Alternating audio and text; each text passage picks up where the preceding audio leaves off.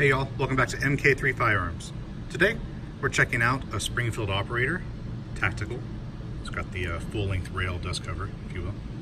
Uh, as far as work performed on this guy, kind of cool. Um, these operators come with a rear adjustable, almost like a Bomar sight, so this gentleman wanted the uh, Trijicon, you know, RMR, if you will, mounts uh, with the suppressor sight built in, in the rear, and of course their front made it up there and it's a little bit challenging because the sight cut for the original, I guess, Bomar sight is a little bit too big. So we actually had to weld up uh, the rear of the slide to get, you know, that sight to look really nice in there. But yeah, so we basically just fit the uh, Trijicon RMR mount, um, redid the front sights.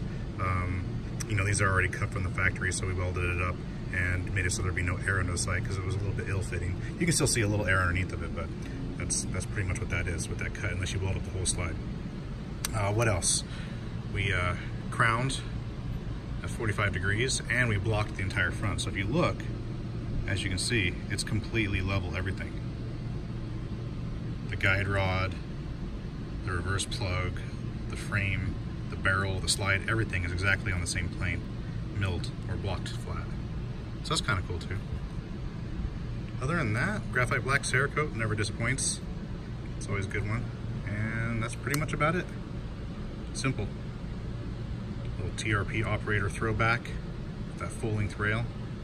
It's got some Wilson Combat BZs on there it looks like too. Yeah, turned out really good. Pretty happy with the end result.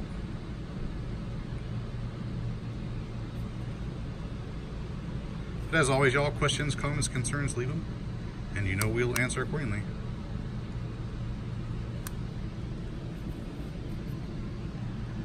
Until next time.